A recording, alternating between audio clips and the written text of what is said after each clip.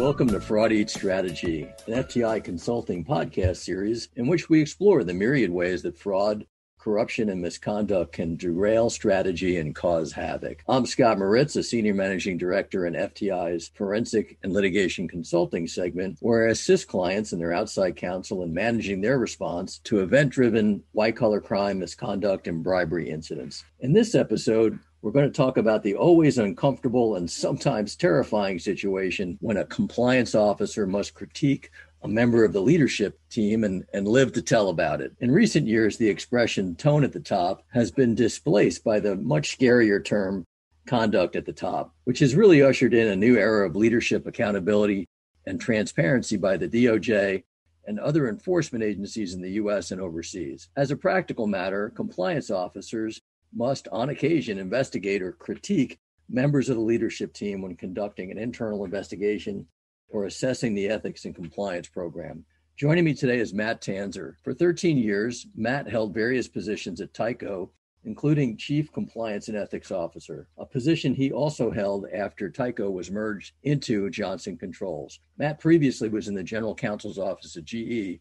Welcome, Matt, and thanks for joining me today.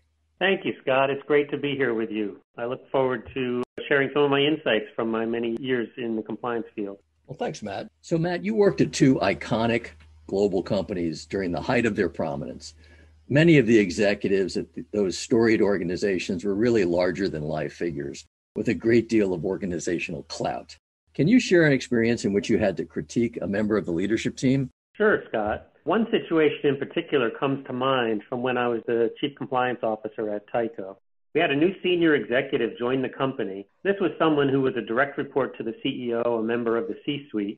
And I was tasked with sitting down with that person and ensuring that they satisfied the corporate governance guidelines, especially with regard to outside interests, to make sure there were no conflicts of interest. So I had to interview this new officer and probe him about several consulting businesses that he owned and managed in his area of expertise. And according to the conflicts of interest policy that existed at the time in the company, I had the unfortunate and somewhat perilous job of informing this senior officer that he would need to resign from his director or management positions at two outside entities he was involved in. Obviously, this was not welcomed news, and the senior officer was not too happy about it. Nevertheless, you know, he understood that this must be done. I explained to him our corporate policies, and he assured me that he would submit his resignation promptly. Because of his role and seniority and status in the company, I decided not to challenge or insult his integrity by asking him to confirm in writing when this was done. I simply accepted his assurances at face value, trusted he would do the right thing, took notes on it, and accepted, you know, his representations that he would very quickly remove himself from those positions. Well, in hindsight, that was a mistake on my part. It turns out time went on. I didn't circle back on this matter. And about a year later, I actually was no longer the chief compliance officer at that time. I had been elevated to assistant general counsel of the company, but I got a call from internal audit and they wanted to sit down and talk to me about this very issue. So I met with the auditors and they were asking me all kinds of questions about my prior conversation with this senior leader of the company and about how it was left with him resigning from these two positions. And they didn't tell me exactly what had transpired since, again, I was no longer chief compliance officer, but it seemed pretty clear that he had not followed through, notwithstanding his representations to me. And fortunately, I was able to dig out my old notes from the conversation where I could demonstrate that he had assured me that he was going to do so. That was one situation where it was uncomfortable at the outset in trying to uh, explain to this senior leader that he needed to remove himself from a couple of outside entities. And it was uncomfortable a year later when it turns out he hadn't actually done it. So, a couple of lessons learned there. What advice would you give a compliance officer or in house counsel to strike the right balance between carrying out their duty while still not committing career suicide in the process? It can be a delicate balance, Scott.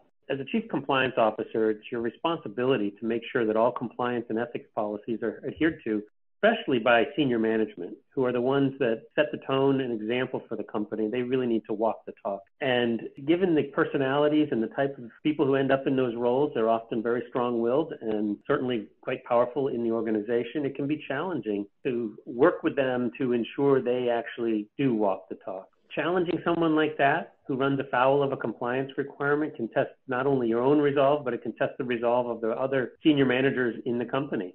Whenever I faced that situation, and it did occur more than once in my career, I would follow, you know, a few guiding principles. First, I always took the approach of never swim alone. Don't go about this all on your own. Always want to enlist support before you're going to take an action that might be controversial, that might be upsetting, that that might ruffle some feathers, especially with the senior leadership. So I would make sure that my boss, the general counsel, knew full well what the situation was. I would brief her, explain to her, and talk to her about steps I would intend to take and get her advice make sure I had her support. I mean, the last thing I wanted and anyone would want is for their boss to be blindsided by some compliance issue affecting one of their C suite colleagues, and then they're putting them in the position of do they back you or do they back them? You want to make sure you, they've got your back before you take any action. So, building consensus to do the right thing is one running rule I would strongly encourage people to do. You may want to reach out to others, the chief human resources officer, sometimes maybe even the CEO, maybe chief operating officer, and just make sure you've got that support at the senior level for taking some sensitive action. So that's rule number one. Rule number two, always be professional. Don't let emotions or power struggles interfere in the process of correcting a problem. Senior leaders are often very powerful. They're accustomed to getting their way and they often don't respond well to having their behavior challenged. So it's critical to stay calm and professional in all dealings with them. Let the facts and the policies carry the day. Don't get caught in the trap of thinking that compliance is all powerful and, and, more powerful than some of these leaders because you can be beaten down pretty readily if you're perceived to be on a power trip. So that's rule number two be professional, be calm. Rule number three be humble but firm. So this is similar to being professional, but you know, maintain a, a dose of humanity and, and a, some empathy and understanding. Remember, everyone is human. We all make mistakes. You don't want to come down with a holier than thou attitude. You want to just carry out your responsibilities, as I said, professionally with some humility, but at the same time, don't let yourself be steamrolled.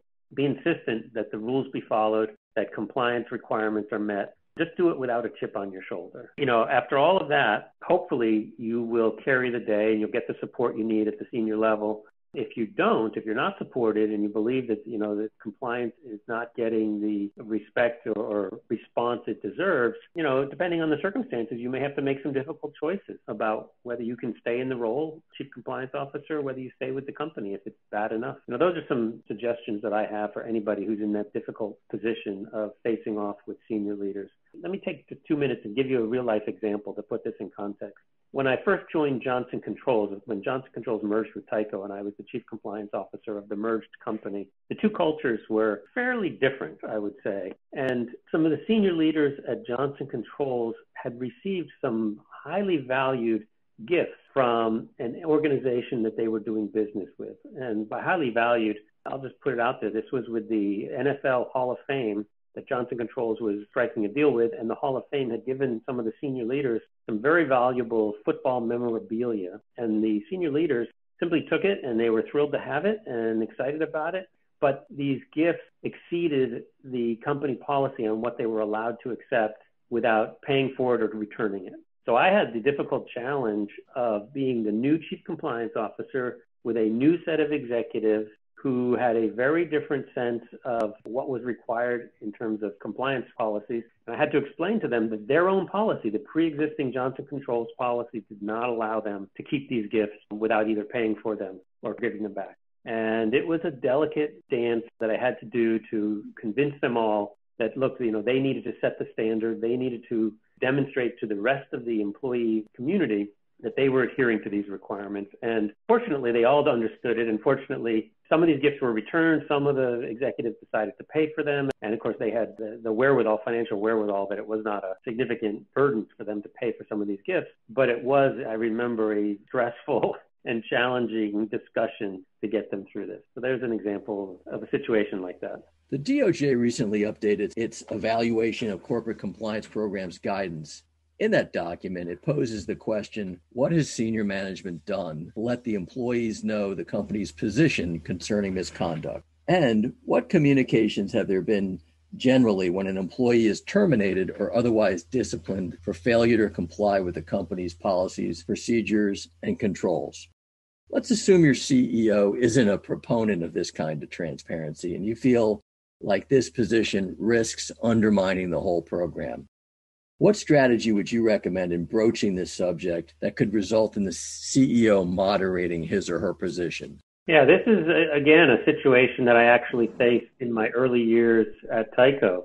And at the time, the company had a whole series of compliance breakdowns within the company that there would be, I would be tasked with providing regular briefings to the audit committee, to senior management on the various investigations that were going on. And so those senior level people understood, they knew what had happened, they knew who had been terminated, they knew the, the results of these compliance failures, but no one else in the company did. The rank and file employees had no idea. And I felt that it was really important to put out some kind of communications when people were terminated for misconduct so that the rank and file employees would, would know and understand that there was a robust compliance program, that these types of issues were being found out, and that there were consequences. But unfortunately, in my case, it wasn't the CEO who objected to this.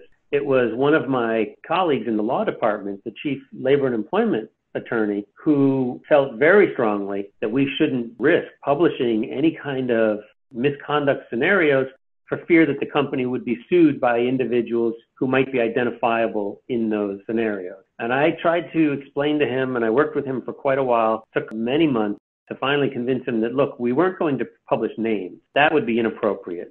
And there can be real liability issues if you do that. But we wanted to publish simply scenarios, genericized fact patterns based on real situations that had happened and make sure the employees knew the newsletter was clear that these were real cases that had happened within the company, but not provide names, genericize the details, don't provide enough specifics that someone could figure out who was actually involved other than an employee in North America or an employee in Europe or an employee in the Middle East. You know, we would genericize it in that way and explain for example, an employee in Asia had figured out a way to bypass controls in the financial accounting system and had been issuing checks to his parent's company and had embezzled, you know, half a million equivalent of half a million US dollars over the last four years. And we've explained how this was discovered through an internal audit of vendors and tracking names and ultimately, you know, we'd explain this individual was terminated forthwith and we are taking legal action in order to recover the funds. Something like that. And finally convinced our Chief Labor and Employment Counsel to let us publish these types of stories on a monthly basis in a newsletter. I think we called it something like True Compliance Stories or something like that. And it took off. All I can tell you, Scott, is this tool became a hot item in the company. The employees loved reading it. We could track how many times it was downloaded from the intranet and people would discuss it at meetings. And it really, I believe, helped to change the culture or at least helped to reinforce the culture of compliance in the company because people were seeing that these types of misdeeds were being discovered, that we had a robust compliance program, robust auditing, and that when some problem was found, we took action. And there's something in the compliance world that's called organizational justice, which is very important to having a reputable compliance culture, a reputable company, and, and a strong compliance culture. And that organizational justice means that people feel that the do-gooders are going to get rewarded and the do-badders, or those who cheat, lie, steal, etc., are going to suffer the consequences. And that's what we were illustrating to our employees with this newsletter. So it actually was a very useful tool, and it's something that we continued, I believe, is continuing to this day at the company. Matt, one of the litmus tests that the government uses in determining whether a compliance program has been, quote, operationalized is whether and to what extent the company has exited problematic customer and or third party relationships that could not otherwise be remediated. Decisions like this negatively impact one or more business units who are counting on the revenue attached to that customer, reseller, distributor, or sales agent. The business head who just lost their biggest account could be, you know, rightfully outraged and feels like compliance is interfering with his or her business. How do you head that situation off before it threatens to disrupt the overall compliance operation? Great question, Scott. Know, this is another situation where it's critical to have senior management support for the broader compliance program before you adversely impact a business unit. You got to have top management buy-in to the principles and objectives of the compliance program and make sure that that senior level commitment is there to the principles that you promote with your compliance program. If you're going to survive the complaints of a business manager who feels that his business has been negatively impacted by these compliance requirements.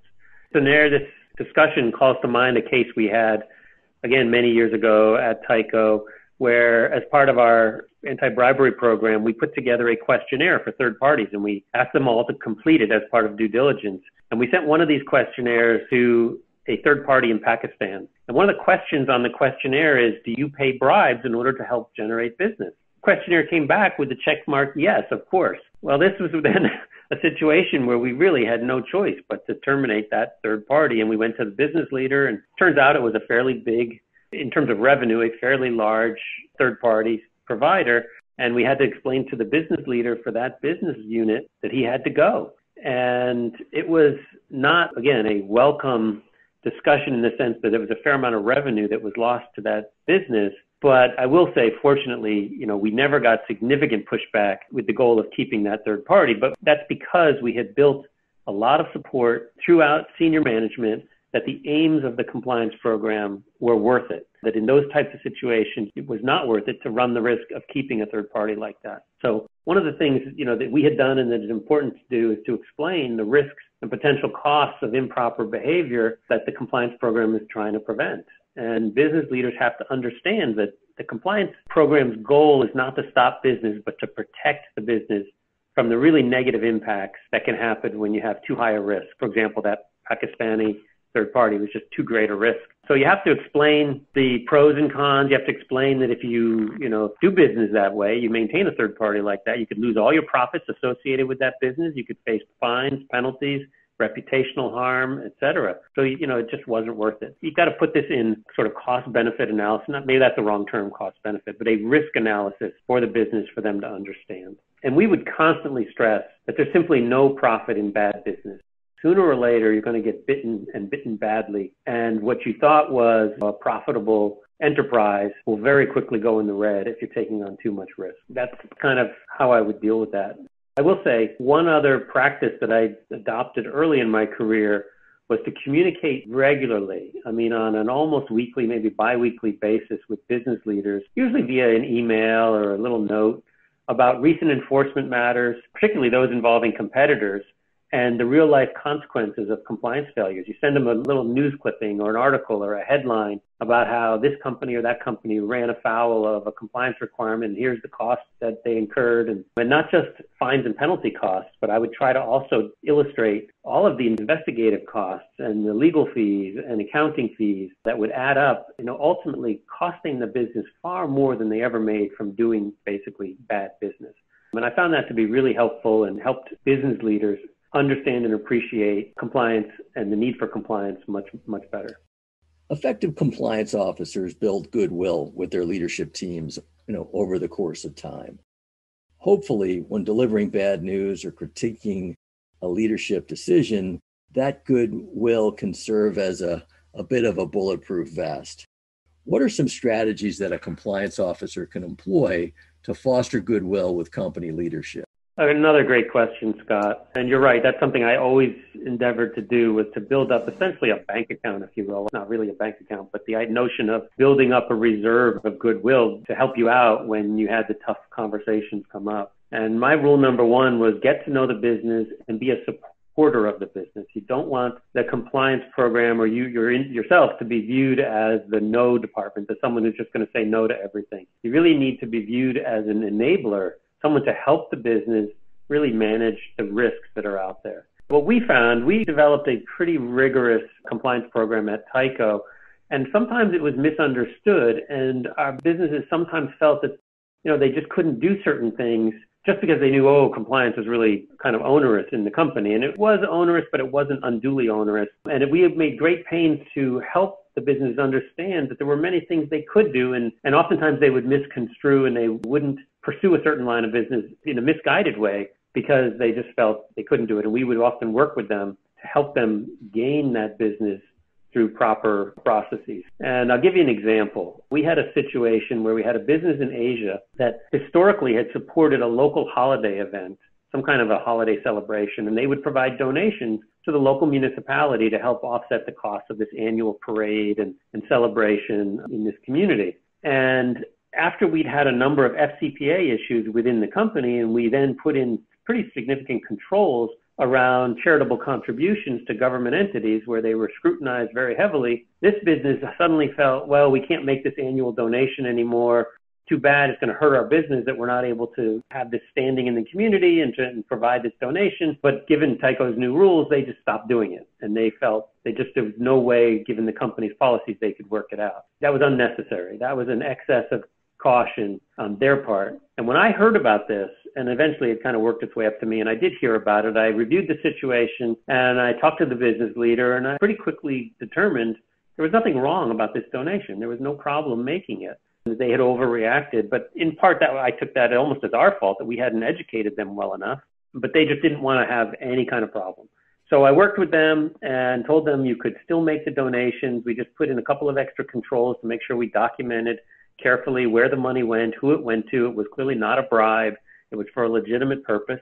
And they started doing it again. And they were really thrilled and they were especially happy that we had taken time to help them work through this issue and actually support their business as opposed to just, you could imagine someone just ignoring it and saying, oh, good, they stopped spending that money. But, you know, we really wanted to help them out. And so that helped build credibility for my team and my department. That's a kind of a real life example. And another thing that can be done to build credibility is what I mentioned before. Constantly provide education to business leaders about emerging compliance issues. And particularly when you can tie it to their business. Again, if it involves their industry, if it involves a competitor, if it involves something that, you know, they can relate to, that's much more preferable than just some kind of generic compliance issue.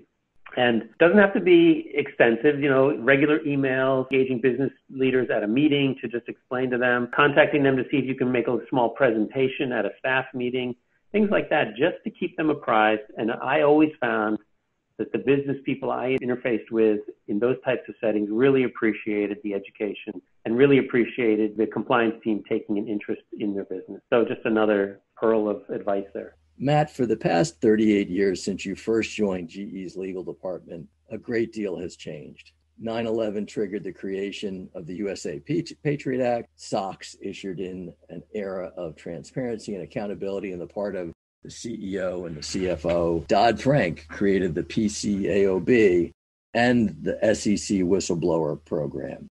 Social media companies are, are under intense increased pressure to monitor their platform for hate mongering. Me Too and Black Lives Matter have fundamentally changed our culture and how the C suite can really no longer stay on the sidelines when it, it comes to important social issues.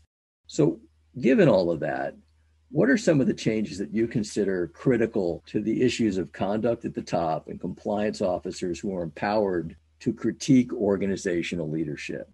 Well, to me, the most significant change to influence senior leaders of companies today is social media. It's just remarkable how in, in the last five to 10 years, social media can drive so much behavior of corporate executives. I'll give you a couple of examples historically, I remember, okay, and this is not about compliance, but it's just about business, business reputation. There was a situation I remember, this was quite a few years ago, maybe five, seven years ago, where an individual flying on, I think it was Delta Airlines, had his guitar damaged, and the company refused to make good on it and, you know, kind of gave him a stiff arm and weren't compensating him for the damaged guitar in transit. He went on to social media and he, I don't know if he went on Facebook or he went on YouTube, but he did something where he raised the profile of his situation to such an extent that the company had no choice but to, you know, in order to maintain sales and and uh, not damage their reputation, they obviously agreed to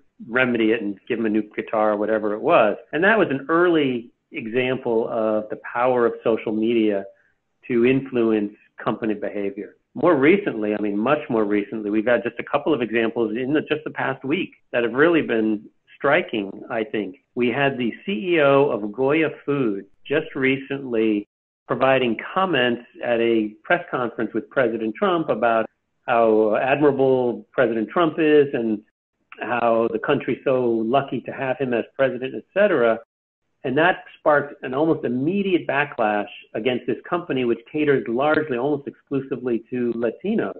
Goya is a food company that is a staple of many Latin families, in the, particularly in the U.S., but I think they're a global company. And given the president's conduct towards the Latin community over the last three years, and I won't get into the details of that, but not been positive, there was a huge backlash against the statements made by the CEO of Goya and an immediate call for a boycott of that company's products by Latinos. So again, it's social media, the power of social media really influencing companies and in this case didn't change the behavior of the company, but it may eventually if there's an extensive enough boycott. And then one last example, which I think is also illustrative. There was just maybe it was a week and a half ago, a CEO of a tech company in California was eating dinner at a restaurant and he apparently made some racist remarks to an Asian family that was sitting just a table over from him. And this was caught on video by some members of the Asian family. They turned on their cell phone and they captured him. And this video was posted online and it was very clear he was making some very, very derogatory remarks towards an Asian family that was simply celebrating a family event, was not bothering him at all. Long story short, after this went public, the CEO of this company was widely castigated and criticized for the things that he had said. And now it turns out he's resigned from his role, so he's no longer CEO of that company. Again, just showing the power of social media, the influence of social media on corporate behavior, and how it can affect senior executives. And my takeaway from these types of examples is that all executives, frankly, everyone, but particularly executives, who have a lot to lose need to take caution and be very careful about their behavior outside of the corporation in public because what they say and what they do is essentially is being monitored all the time. Well, that's all the time we have today. Matt, you shared some terrific insights with us and we really appreciate your time today. Uh, it's been a pleasure, Scott. It's great to catch up with you again, and I really appreciate being on your podcast. So thank well, you. You're welcome. Thank you. This concludes this episode of Fraud Eats Strategy. I'm Scott Moritz, Senior Managing Director in FTI's Forensic and Litigation Consulting segment. And stay tuned for the next episode of Fraud Eats Strategy when we'll hear from Murphy and McGonigal partner Howard Kramer and FTI's own Oz Viral, two experts on artificial intelligence, talk about the use of AI to detect things like insider trading and other forms of market manipulation within the capital markets. If you have an idea for a fraud or corruption case, topic, or guest you'd like to hear from on a future episode, email us at fraudeatstrategy at fticonsulting.com. Thanks for listening.